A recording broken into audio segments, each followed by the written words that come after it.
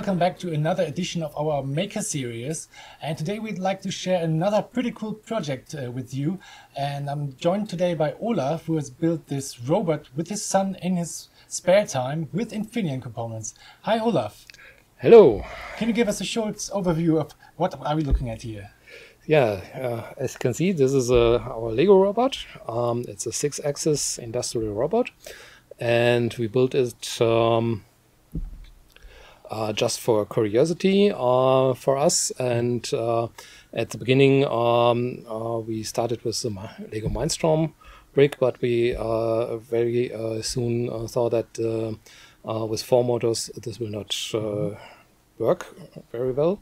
So at that moment, that Infineon has in brought its new motor controller shield on the market, which is a TLE 94 112 this is a shield here on top, which can control six motors uh, at the same time independently. And this uh, fits perfect well onto our um, Lego robot. Uh, so um, after building this robot, uh, we uh, took this uh, shield and the XMC 1100 microcontroller for, from Infineon to control all of these Lego motors, which we have six here, um, independently. So when I just press this button, you can see this. And on top, on top of that, um, as I used um, two of these shields in this uh, stack here, um, I can control up to eight motors independently at the moment. Wow. So this looks pretty complicated. Can you give us a short walkthrough uh, of where the motors are placed, how the mechanics work? Just just a few more details. So uh, we have uh, one uh, Lego motor here on the bottom, uh, which is turning the table. Then we have uh, one here on the side for the first lever, one in the cage for the second lever, here at the end for the finger turn, and two uh, motors in this cage for turning this finger uh, up and down and rotating it. And a seventh motor, it's a micro motor, which is uh, placed here.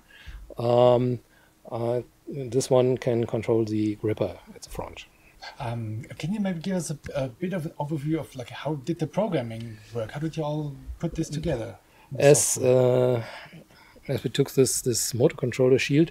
Uh, at the same time, Infineon also um, brought its uh, new Arduino library uh, in place and um, uh, use it here uh, for. So uh, we can just take the ordinary Arduino IDE for that, and um, with a little library from Infineon, we could start and control the the motors. Um, so this functions I marked here are the uh, starting function, which uh, uh starts the robot and uh, also finds all the uh, motors which are um, attached to the shields. And the second one just gives some information of the product. And also, we can control with the microcontroller shield the tacho encoder of the Lego robots. So when I turn here one lever you can see uh, that uh, I can get the positions of this uh, motors and um, if I restart the program you can see it will take some some time but you can see that uh, at the beginning uh, this library will find all the attached motors by itself. Wow, that's really impressive.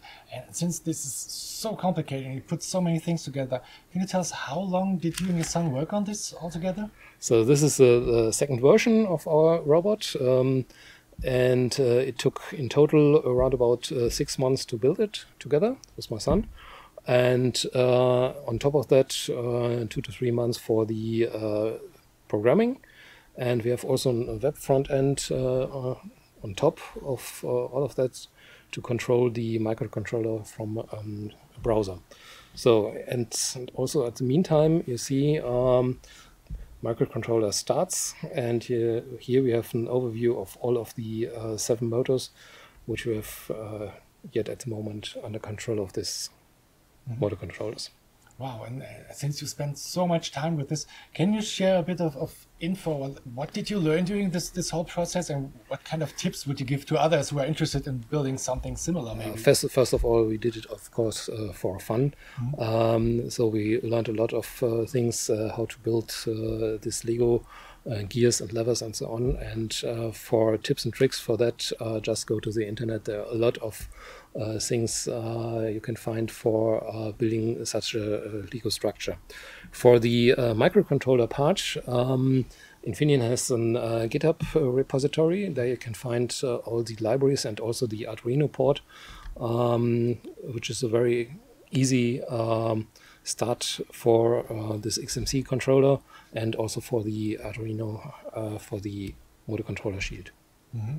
Wow, and um, you already mentioned that you built this whole thing with your son, that your son has actually programmed a web interface. So, not by coincidence, we have his son, Marcus, here who's with us today. And he's going to give us a demo on his web interface that he programmed for this very robot. Hello, Marcus. Thank you for taking your time. Can you give us an overview about the setup we're looking at here?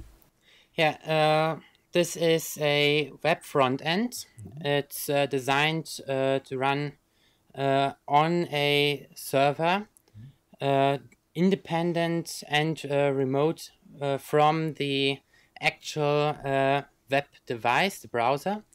Mm-hmm. Um, so I can control the robot uh, via a mobile or notebook device.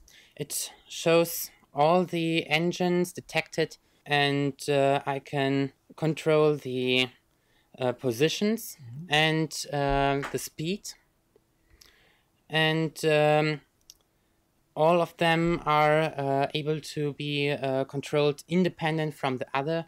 Mm-hmm.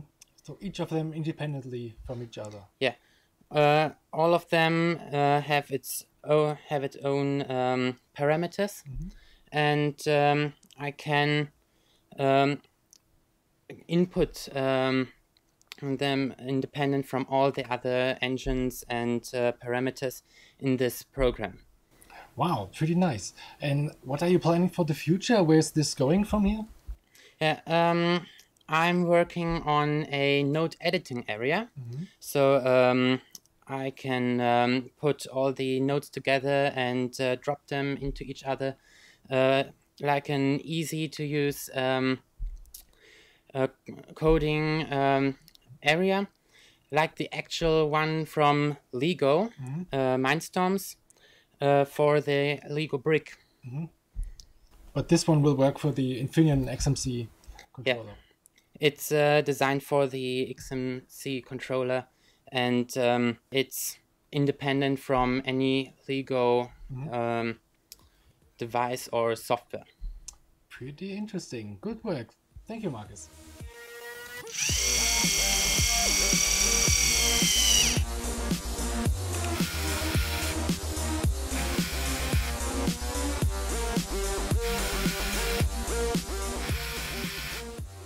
So thank you for watching today. If you're interested in starting your own project or if you're in the process of prototyping something, go to infineon.com slash makers. That's the place where we have all our demo boards, evaluation kits and alike and the software for it. So infineon.com slash makers or if you're interested in our Arduino port of our microcontroller software, then go to github.com slash infineon. Thanks for watching.